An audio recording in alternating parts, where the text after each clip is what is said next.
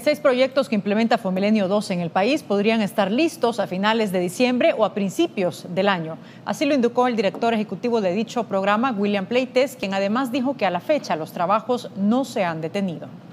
Porque ahorita nosotros tenemos fondos adicionales ya incorporados y más bien eso serviría básicamente pues para complementar las, eh, eh, los desembolsos pendientes, ¿verdad?